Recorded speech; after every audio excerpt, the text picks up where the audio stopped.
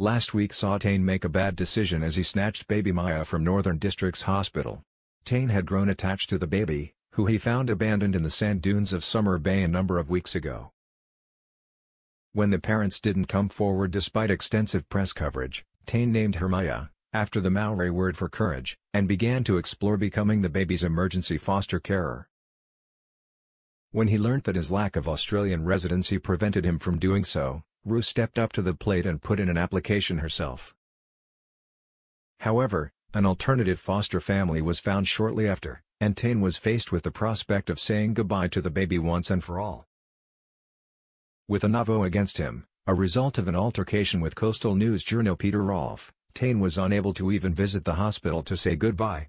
Dana felt sorry for him and decided to sneak him into Northern Districts late at night, giving him one final opportunity to see the baby he had grown so attached to. Yet Dana made the foolish decision to leave Tane and Maya alone together, and when she returned just minutes later, Dana and the baby were gone. Dana was left feeling distraught as she copped the blame for Maya's disappearance, with even her sister Harper, Jessica Redmayne, giving her a serve for her seemingly endless slip-ups.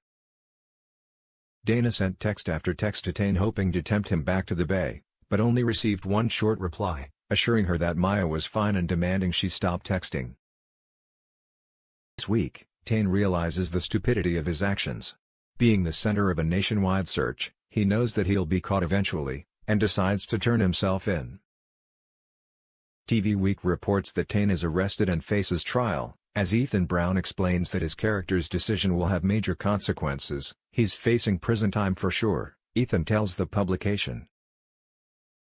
Still, he still faces the prospect of losing baby Maya to the government care system, the exact thing he was trying to avoid. Despite the Parata family's reputation, and some foolish decisions since he first moved to Summer Bay, Tane has managed to avoid a criminal record up until now. Is all that about to change, and will Tane face jail for his actions?